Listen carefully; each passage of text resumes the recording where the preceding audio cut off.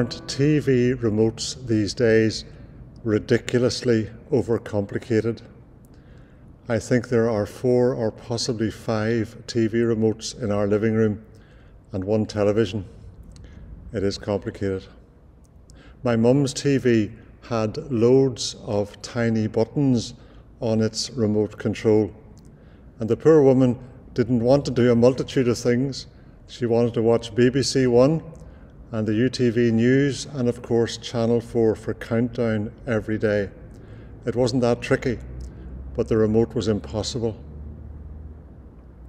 It's the same with phones.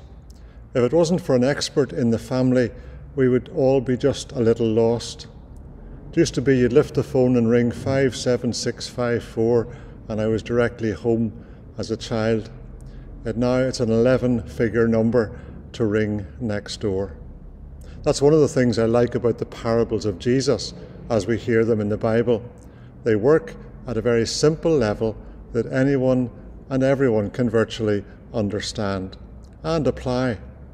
There's no need for a commentary, a manual, or a phone in help number. They are self explanatory. And yet they can go deeper too, because the application, although it's simple on the surface, can be more demanding of our hearts and spirits. Let's hear the reading for today. This reading is from Mark chapter 4. Jesus began to teach by the lake. The crowd that gathered round him was so large that he got into a boat and sat in it out on the lake, while all the people were along the shore at the water's edge. He taught them many things by parables and in his teaching said, Listen, a farmer went out to sow his seed. As he was scattering the seed, some fell along the path, and the birds came and ate it up. Some fell on rocky places where it did not have much soil. It sprang up quickly because the soil was shallow. But when the sun came up, the plants were scorched and they withered because they had no root. Other seed fell among thorns, which grew up and choked the plants, so that they did not bear grain. Still other seed fell on good soil. It came up, grew, and produced a crop, some multiplying thirty, some sixty, some a hundred times. Then Jesus said, Whoever has ears to hear, let them hear. When he was alone, the twelve and the others around him asked him about the parables. He told them, The secret of the kingdom of God has been given to you, but to those on the outside, everything is said in parables, so that they may be ever seeing but never perceiving, and ever hearing but never understanding. Otherwise, they might turn and be forgiven. Then Jesus said to them, don't you understand this parable? How then will you understand any parable? The farmer sows the word.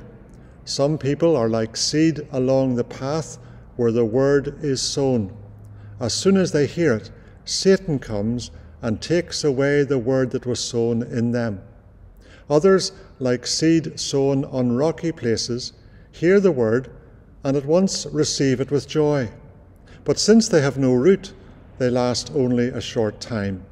When trouble or persecution comes because of the word, they quickly fall away. Still others, like seed sown among thorns, hear the word, but the worries of this life, the deceitfulness of wealth, and the desires for other things come in and choke the word, making it unfruitful. Others, like seed sown on good soil, hear the word, accept it, and produce a crop, some 30, some 60, some 100 times what was sown. This is the gospel of the Lord. Praise to you, Lord Jesus Christ. The parable of the farmer sowing his seed. In a sentence, it seems to mean that the best seed scattered by the best farmer still draws a blank in parts of the field. And God's word adequately or well sown in people's lives is not guaranteed any positive, long lasting result. But to get any fruit, we have to sow, even if much of the sowing is wasted. To get any disciples, even Jesus had to heal and teach a lot of people. And that's enough of a message on its own.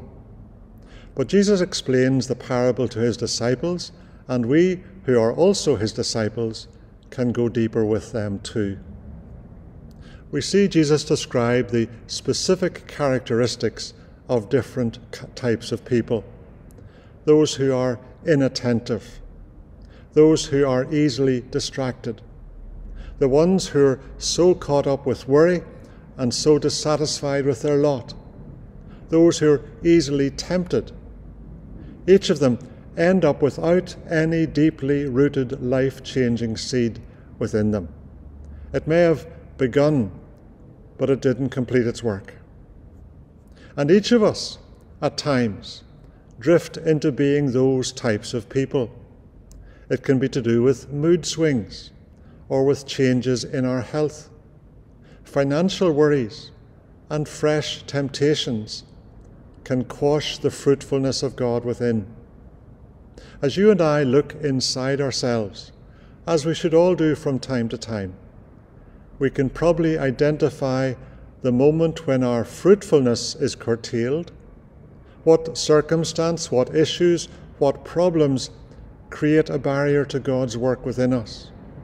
And if we analyze those, perhaps it's possible to find a way to avoid or delay or prevent them. It's worth throwing some light on our experience with the benefit of those most marvellous words from Habakkuk, with which I'll finish today's message. There, the prophet declares his impenetrable conviction that God will still be his God despite the failings in every aspect of his life. Can we not ask God to use our trials to turn over the rocky soil and the weed ridden soil and convert us to good soil where his word will continue to grow. These are the words from Habakkuk chapter 3, beginning at verse 17. Lord, may these words speak to us in our disadvantage, our dilemmas today.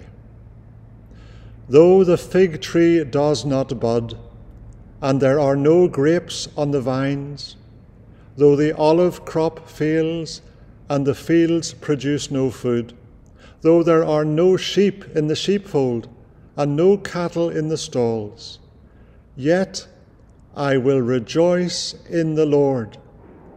I will be joyful in God, my Saviour. The sovereign Lord is my strength. He makes my feet like the feet of a deer. He enables me to tread on the heights. This is the word of the Lord. Thanks be to God. Good day, and may this week for you be a week where you encounter the life giving Word of God sown in your heart and bearing fruit, which others will see and which will encourage them to come to meet the same farmer, the same Saviour, the same Lord who seeks to bring life into all of our lives. Our Father, who art in heaven, hallowed be thy name. Thy kingdom come, thy will be done on earth as it is in heaven. Give us this day our daily bread, and forgive us our trespasses, as we forgive those who trespass against us. And lead us not into temptation, but deliver us from evil. For thine is the kingdom, the power, and the glory, for ever and ever. Amen.